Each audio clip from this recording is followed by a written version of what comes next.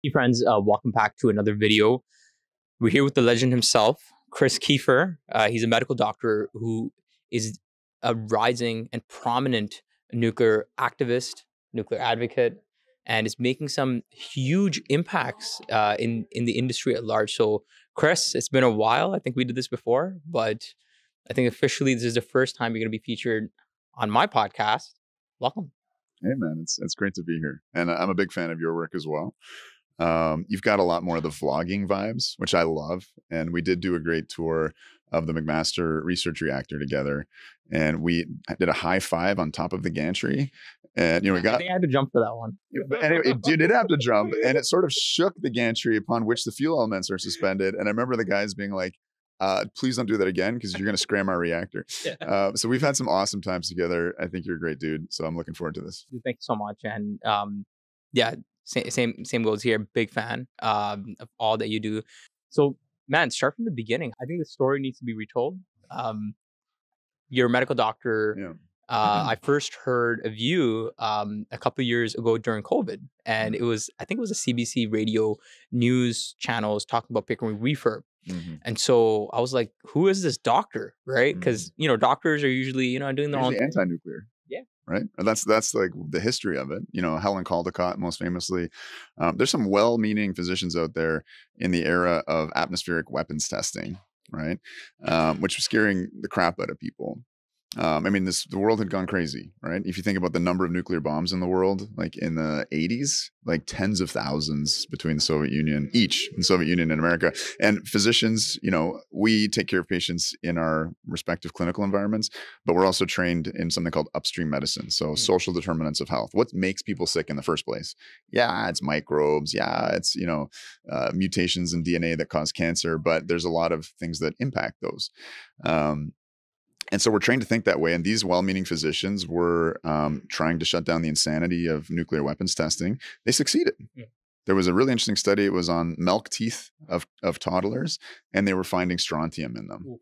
Right, and you know, trace some elements, uh, sorry, trace amounts of these elements, and nothing that was significant in terms of causing you know physiologic harm. But that's a powerful thing. I mean, that's why you know when we go through uh, the power plant, that lead box that we have to put in for contamination, that's from lead mined before the atomic weapons testing because this Yeah. stuff went everywhere. It's an insignificant amounts. But anyway, essentially, physicians played a massive role in the ban on atmospheric nuclear weapons testing.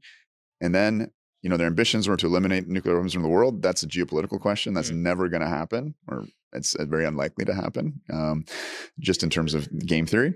Um, but they turned their attention in a misguided way um, towards other aspects of the technology, the peaceful aspects, um, to the point that a lot of these people are against medical isotopes. Oh wow. I mean, they're against it in the sense they think like cyclotrons can do it all, which ain't the case. You know, I know. The Canadian Nuclear Isotope Council knows. But yeah, anyway, so that's the kind of legacy of physician activism. And folks like Helen Caldicott, I mean, she's received at least 20 honorary doctorates. When I was in uh, my undergrad at Guelph, she got an honorary doctorate there, gave the speech where she said that nuclear plants release more carbon than I'm not sure if it was a coal plant, but definitely a gas plant because of all, you know, there's so much cement that's poured, there's so much steel involved. And so this was my framing, right? Like I came from kind of the political left. Yeah.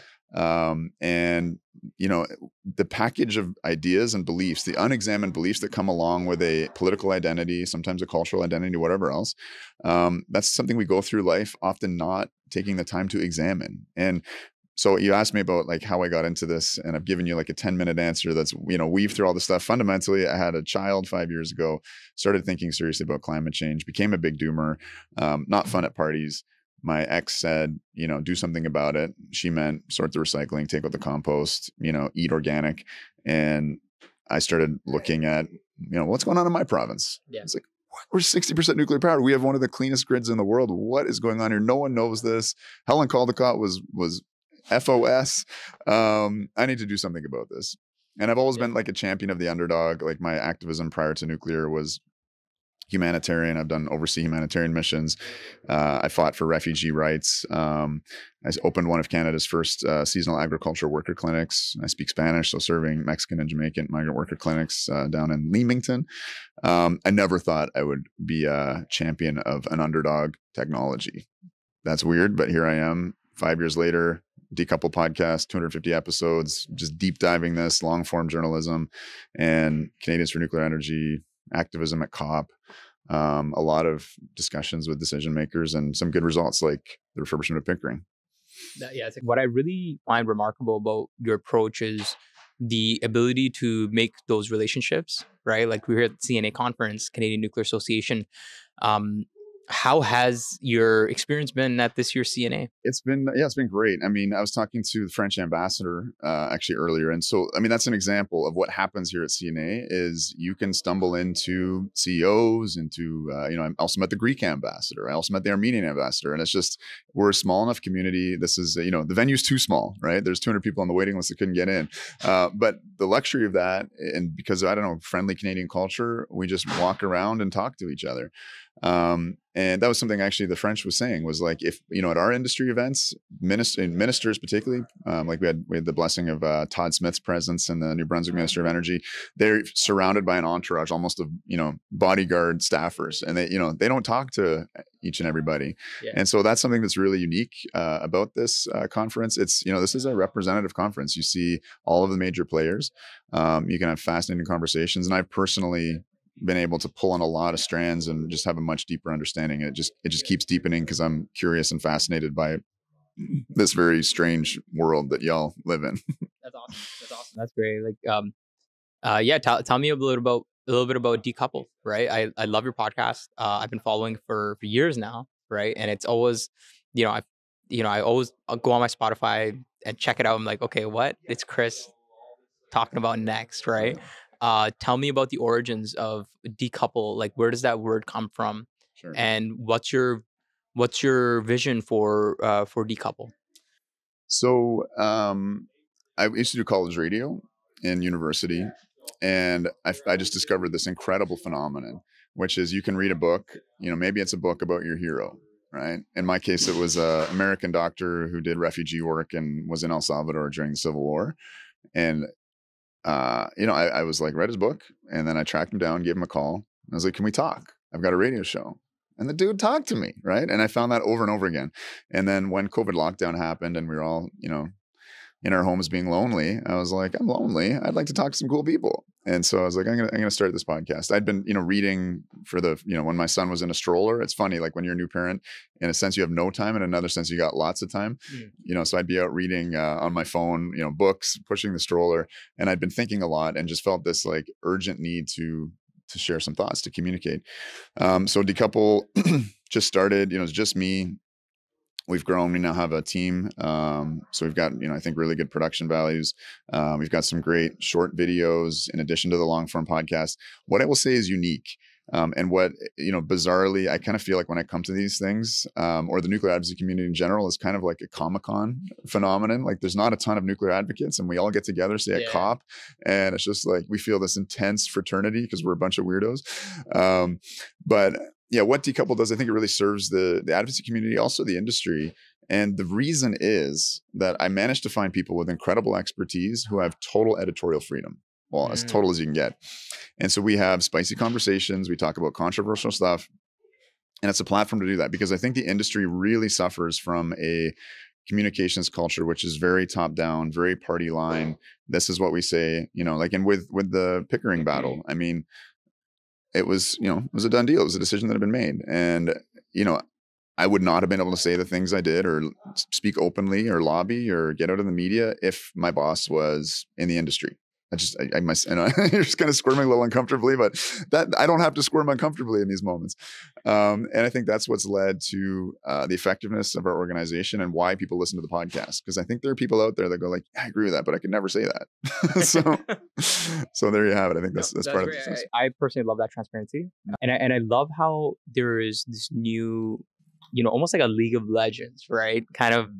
these these advocates for for nuclear and each one has their own unique flavor right mm-hmm. and I, so you know for example myself i'm more industry relevant right mm-hmm. and i'm more industry niche and a little bit of a deeper dive but i like mm-hmm. i like how you approach nuclear topics from a relevant level where the general public can come jump on and be like okay this is crazy interesting right and i think it's a little bit of a wormhole right it's like yeah, yeah, yeah. they deep dive into your content and even above you mm-hmm. is Isodope right? right? Which is like TikTok, cool, Mhm. right? And I feel like this is kind of like a wormhole. It starts at the top, Right. right? And Sucks a few people down. it just sucks everyone down. Not right? everyone. Not, and this this is this is where you're a nuclear engineer and you have a misperception of the general public. The general public, I don't think listens to my podcast.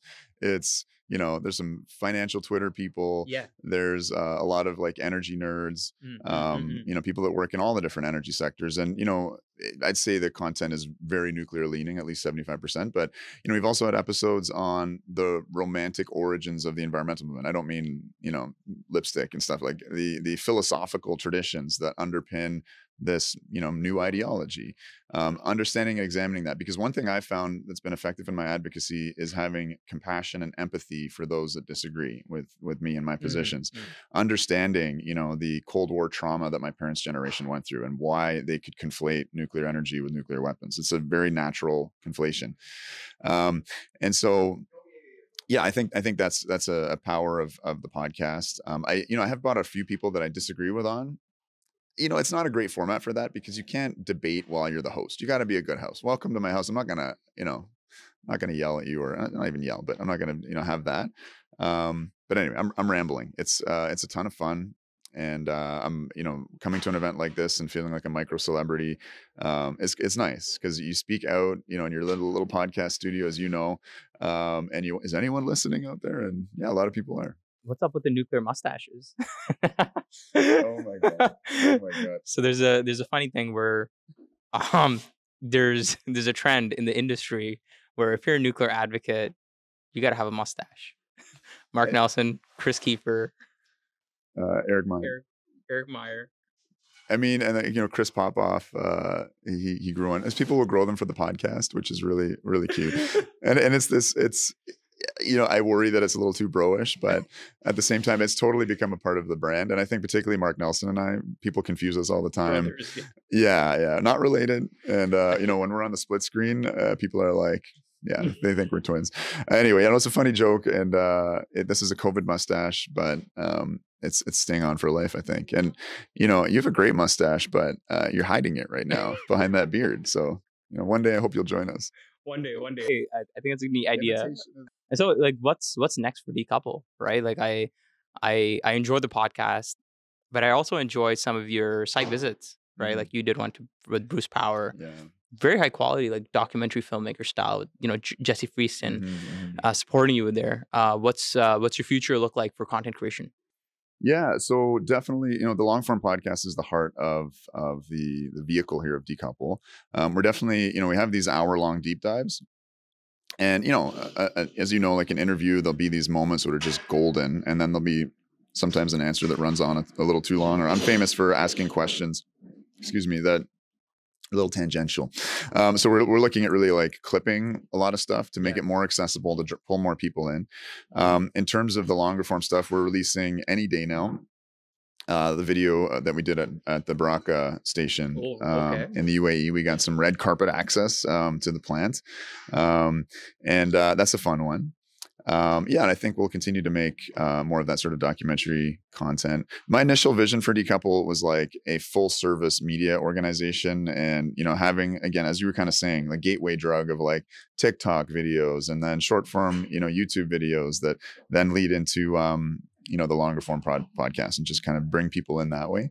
Um, but you know, I'm also still a practicing physician, and being an editor is a lot of responsibility Yeah. especially when people are making stuff and if you're not up to date on saying okay I like that i don't like that and the finished product comes in and you say oh could you change that like it's not how you make friends um, so i've had to i've had to sort of dial back just in terms of my commitments and time as a father as a as a doctor as a you know fiance um, and so yeah i'm, I'm settling in on the podcast um, you know it's weird because fundamentally you know there was a, a, a podcaster i didn't really listen to his stuff but he had a podcast called like my i think he still has it my climate journey Mhm.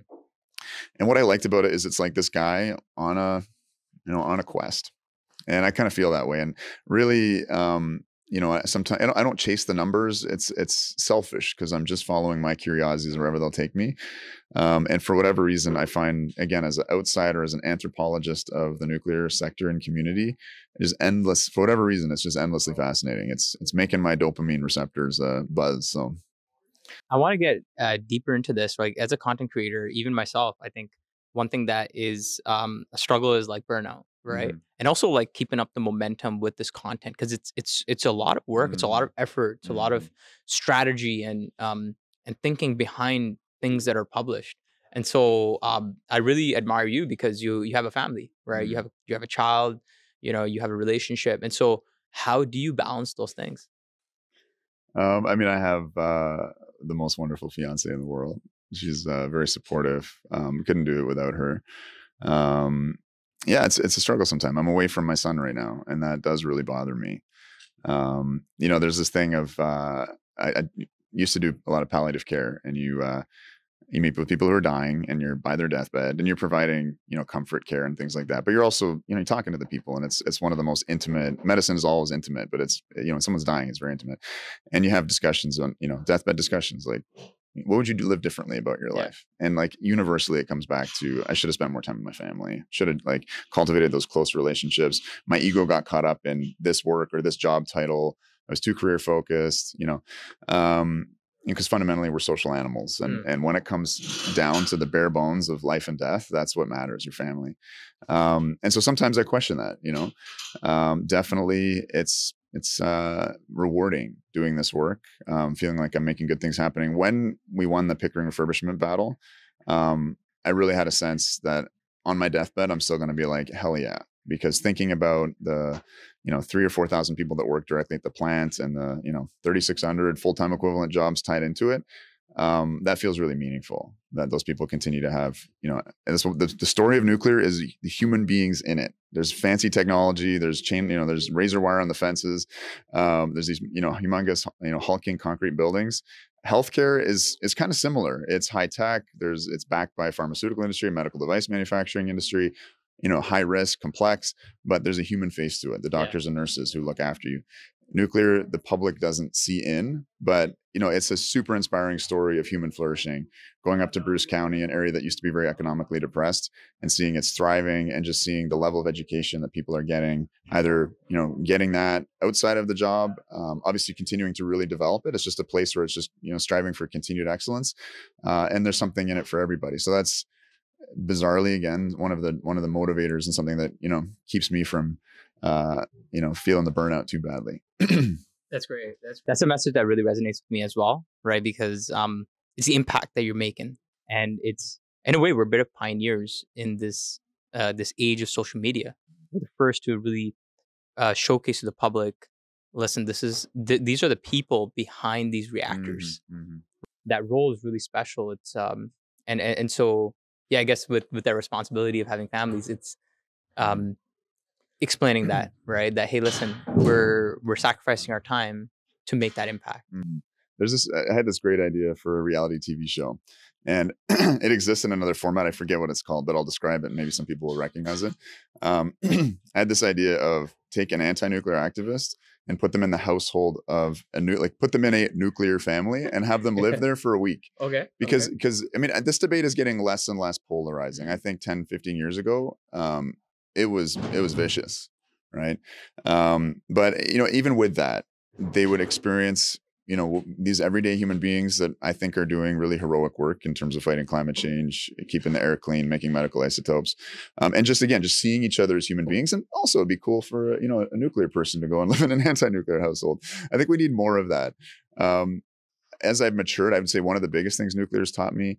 Um, you know, I come from the political left, and generally speaking, I think the political left has a very um, poor understanding of energy and nuclear. There's it's not so much an engineering discipline anymore. It's the left has kind of left the factory floor and gone to university, um, humanities, which is fine. Um, but you know, as someone who was who was on the political left, um, I used to not listen to anything on the political right. But you know, on the political right, there tends to be more people who run companies, who understand the built world, who are engineers, and they might understand energy really well. I'm going to listen to them, um, and so I've I've just got this you know much bigger tolerance, and I think there is a need for anti-nuclear activists. I, I don't think they should, you know, obviously they've dominated the discourse in Germany and they've helped Germany commit industrial suicide. Um, that was too much, but we need a little bit of everybody on the spectrum. It needs to be balanced so that as a society, we make the right decisions and we get all of the input. There's like the more diversity of opinion, the better. um, ultimately to help us make decisions. And that would be like my call out to the nuclear industry is open up that conversation. Don't Yeah. be so restrictive because democracy triumphs over autocracy. And the communications culture in nuclear, I'm, you know, I'm probably going to piss a few people off, is autocratic. And I think we need to unleash people like communicators to spread the good word, be human, right? Show that human face with the public, but also like internally, um, I think we need to have a lot more conversations. Red teaming, you know, I love that concept. Like if someone's a, about to commit to a decision, get a get a group of like five people together, you know, almost like a debating society to tell you why it's the wrong move. You might still make that move.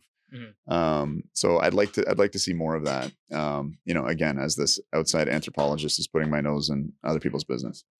Yeah, definitely. I I I, I think there's uh, uh there's a platform and there's there's a way to create synergies between industry, between activists, between advocates, Mhm. right?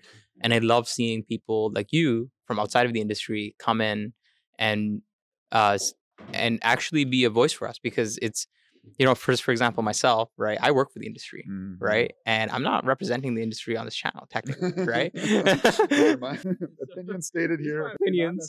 reflect my employer. yeah, yeah, yeah, yeah. So, but it's great to see someone that he's not getting a paycheck uh, from from the industry. That's not his bread and butter, right? No. But the fact that uh, you're coming in uh, from a third party perspective as a doctor, Mhm. right, Mhm. from a completely different discipline, it goes to show a lot, right? Even um, when I go look at Australia, Australia Australians for nuclear, uh, William Shackel, Mhm. Mhm. um, he's uh, impressed me a lot. Yeah. Uh, rising activist in nuclear.